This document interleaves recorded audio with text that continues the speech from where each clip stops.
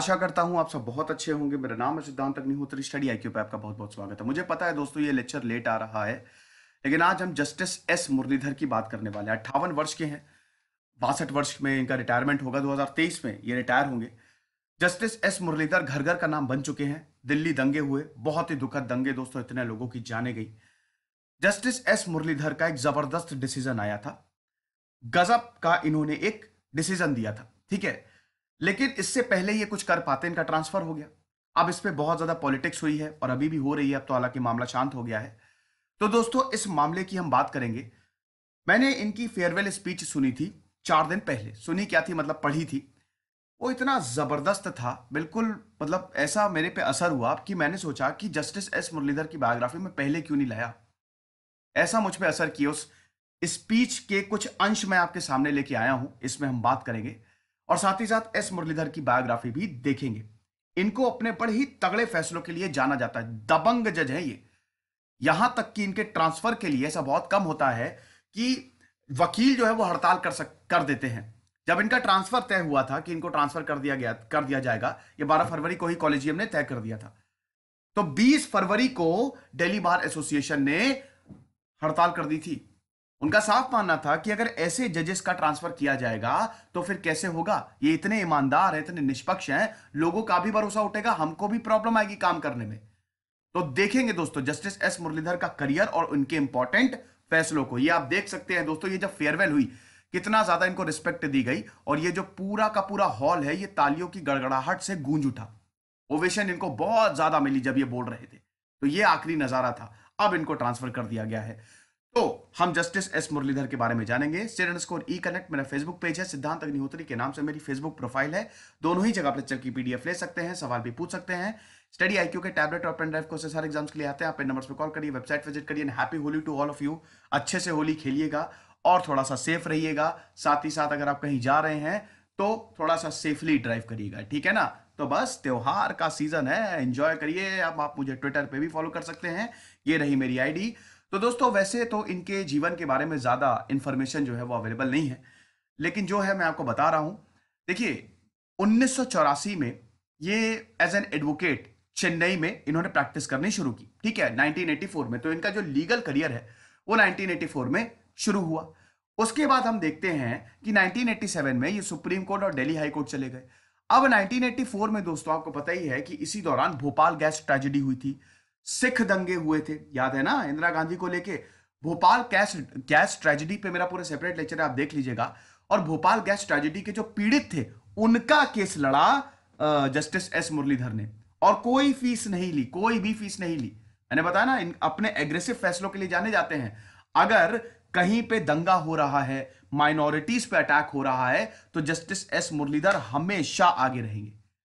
हमेशा उनकी उनका स्टेटमेंट आएगा और अगर वो ऐसे केसेस को हैंडल कर रहे हैं तो बहुत ही बढ़िया फैसला देते हैं वो। कानून के हिसाब से फैसला देते हैं। वैसे जजेस कानून के हिसाब से ही फैसला देते हैं। ठीक है? तो 1984 में सिख दंगे हुए और सज्जन कुमार को 2018 में सजा हुई उम्र कैद। उसमें जो बेंच थी, उसमें जस्टिस एस मुरलीधर भी शामिल थे। जस्टिस एस मुरलीधर ने उम्र कैद दी है सज्जन कुमार को। तो आप देख लीजिए कितना तगड़ा रुख है। और अभी जब 2020 में, अभी फरवरी के लास्ट में जब दिल्ली में दंगे हुए, तब इन्होंने बोला था, ये स्टेटमेंट दिया था मतलब ये अपने डिसीज़न में बताया था, हम दिल्ली का सिख दंगों जैसा हाल नहीं होने देंगे। इससे पहले कुछ कार्रवाई कर पाते, सरकार ने नोटिफिकेशन जारी कर दी और इनका ट्रांसफ़र कर दिया। ठीक है?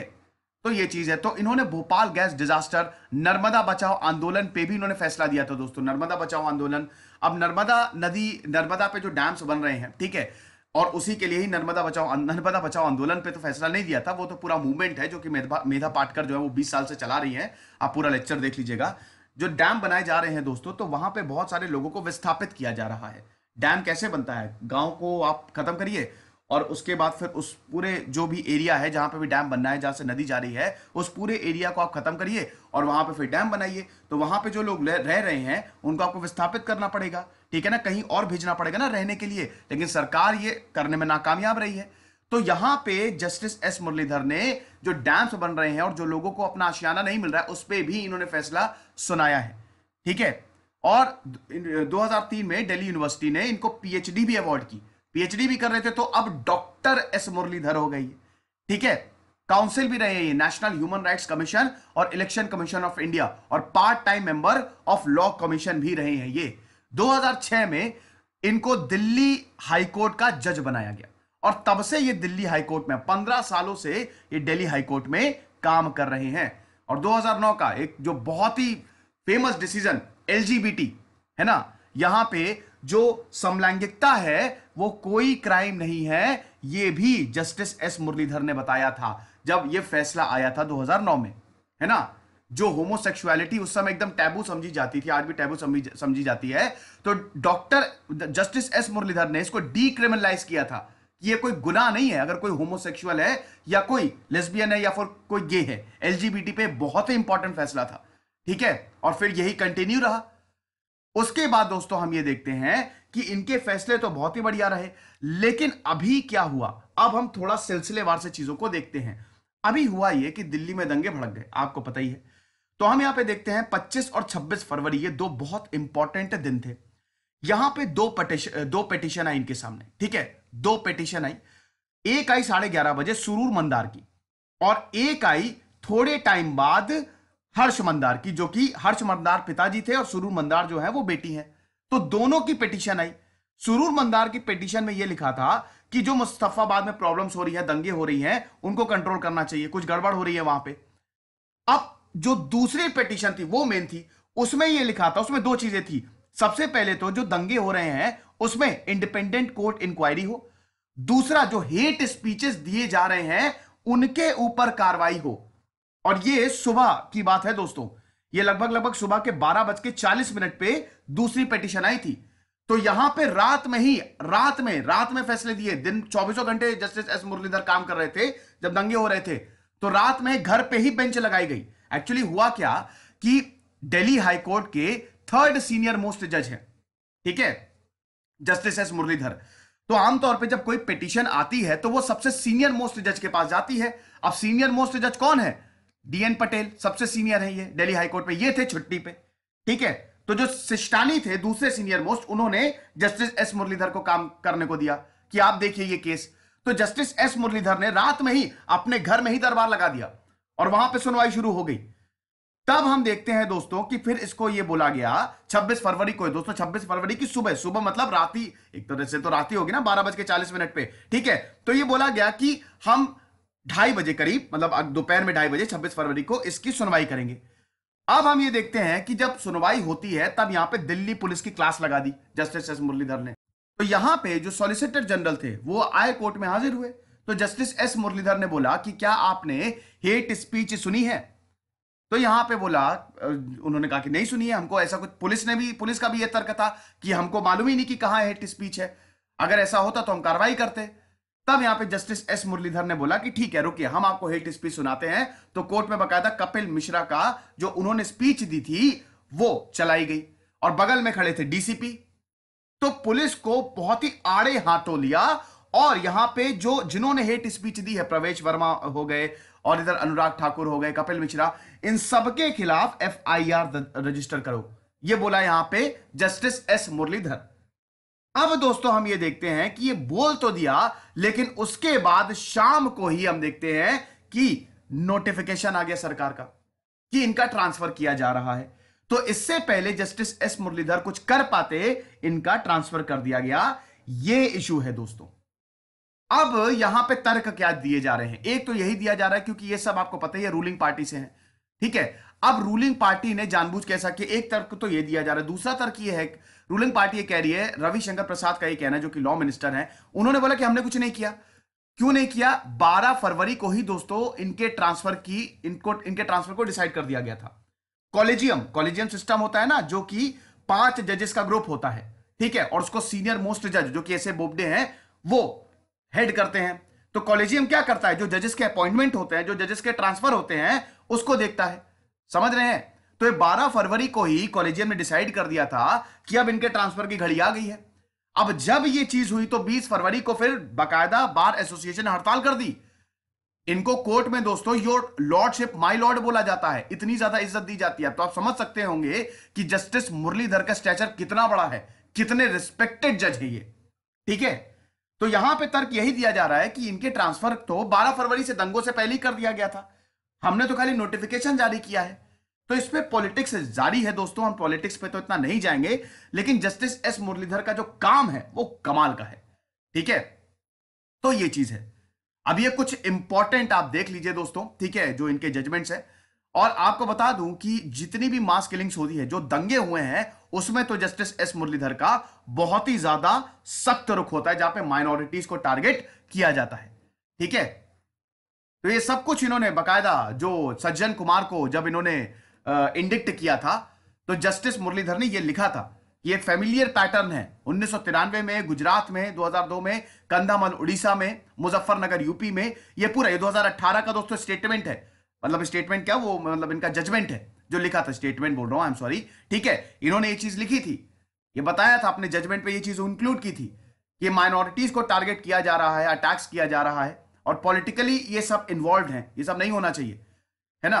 और जो ये क्रिमिनल क्रिमिनल रिस्पॉन्सिबल है, ये सब एक पॉलिटिकल पेट्रोनेज इंजॉय करते, ज़ाहिर सी बात है, दंगे कंट्रोल करने में टाइम नहीं लगता दोस्तों।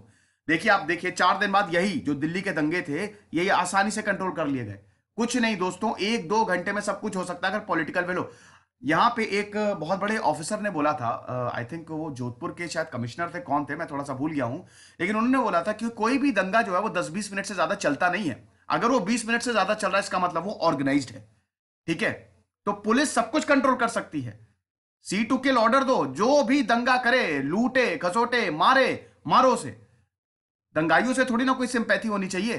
हालाँकि इसमें भी ये बहुत ही मतलब पहले लाठी चार्ज होता है पहले आँसू गैस के गोले छोड़े जाते हैं, फिर लाठी चार्ज होता है। शूटिंग ऑर्डर सबसे लास्ट ऑप्शन होता है। डीएम जो है ना, वो इशू करता है।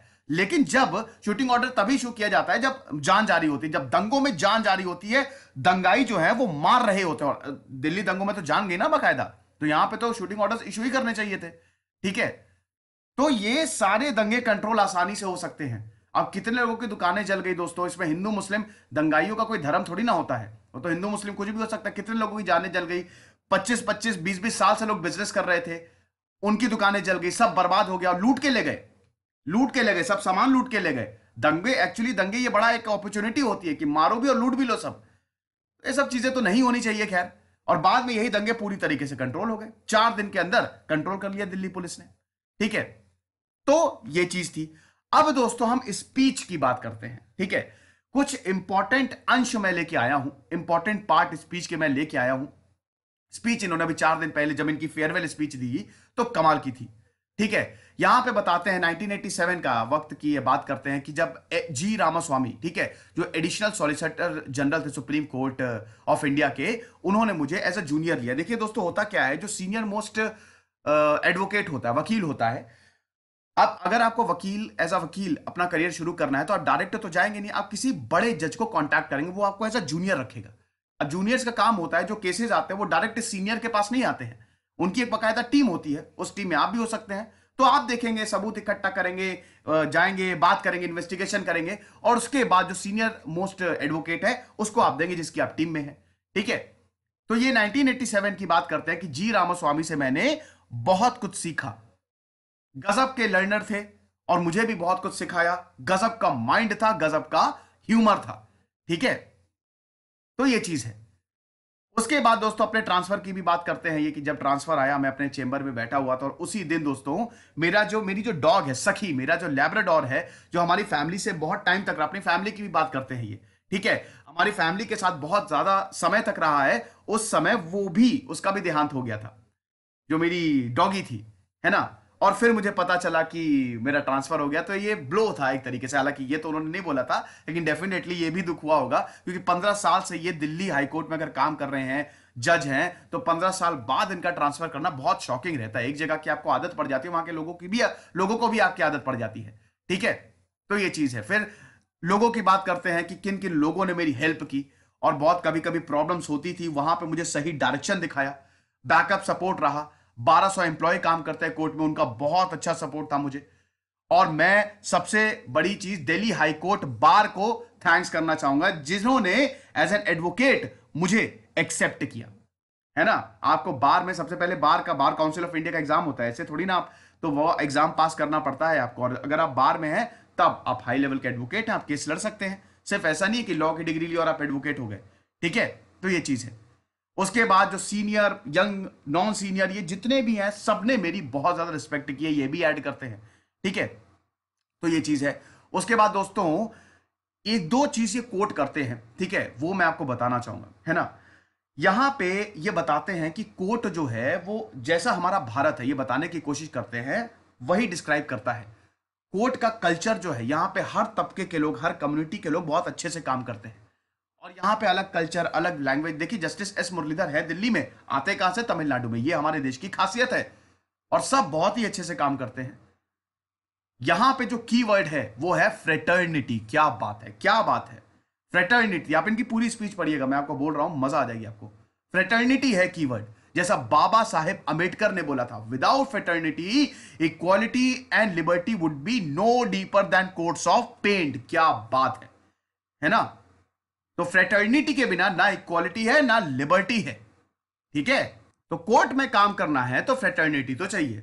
भाईचारा जिसको बोलते हैं ना ग्रुप ऑफ़ पीपल जो कॉमन इंटरेस्ट शेयर करते हैं, अगर डिक्शनरी के हिसाब से बात करें, है ना? लोगों में कैसा संवाद, दोस्ती कैसी है इक्वालिटी है तो ये सब फ्रेटर्निटी के अंदर आता है। एक तरीके एक तरीके से भाईचारा जिसको हम बोलते हैं। तो उसके बिना ना इक्वालिटी है, ना लिबर्टी है। अगर हम एज अ ग्रुप अच्छे से हैं, एक दूसरे को कॉपरेट कर रहे हैं, तभी तो इक्वालिटी और लिबर्टी रहेगी ना। तो ये चीज़ है। उसके बाद दोस्तों, यहाँ पे कॉन्स्टिट्यूशनल वैल्यूज़ की भी बात करते हैं। ठीक है?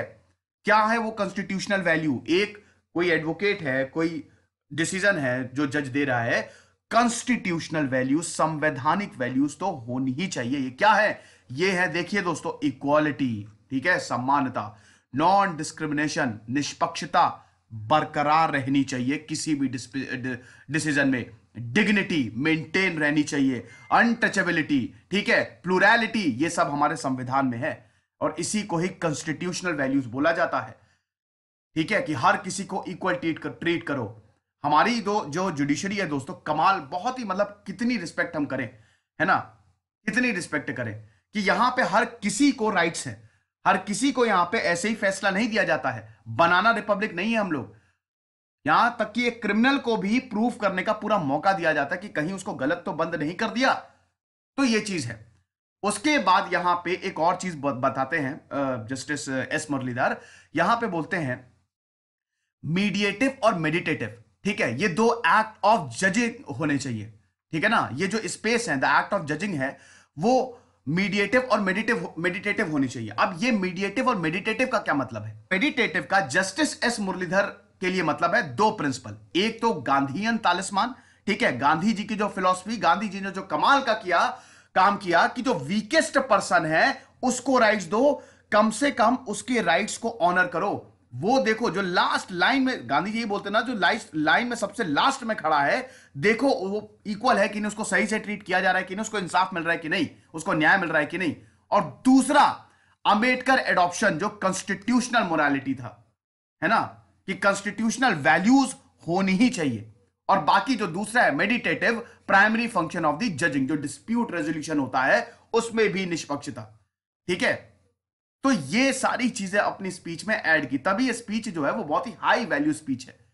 मुझे तो मतलब दो तीन बार मैंने पढ़ा और कमाल का। बहुत कुछ आप इससे ले सकते हैं। उसके बाद फिर न्यूट्रैलिटी और इम्पार्शियलिटी इसके बीच में भी डिफरेंस बताते हैं।